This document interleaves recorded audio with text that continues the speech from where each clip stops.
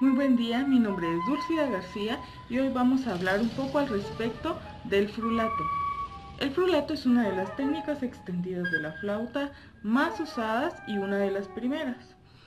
Y esto consiste en sacar aire mientras vamos eh, pronunciando una R con la lengua o haciendo una pequeña vibración con la glotis. Ya hablaremos un poco de esto más adelante. Esto tiene muchos beneficios para la sonoridad en la flauta traversa porque nos ayuda a tener un mejor control en la columna de aire. Como decíamos antes, hay dos formas de poder hacer este frulato. La primera es con la lengua pronunciando una letra R, pero sacando suficiente aire.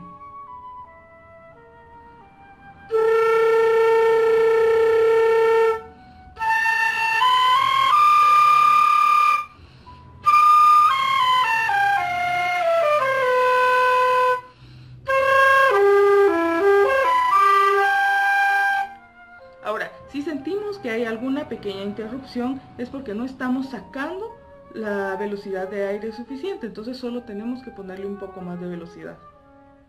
Ahora, para trabajar el de la glotis, podemos imaginarnos eh, cómo hacer gárgaras o incluso podríamos practicar hacer gárgaras antes de hacer esta forma de frulato.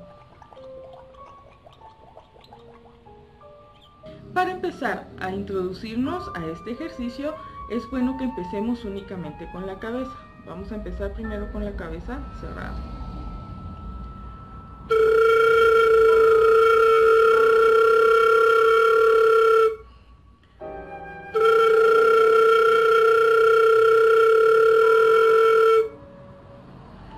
Ahora vamos a destaparla.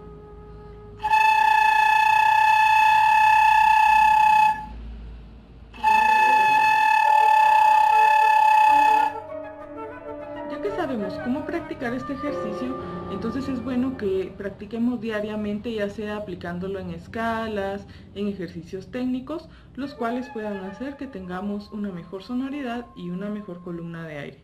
Hasta luego.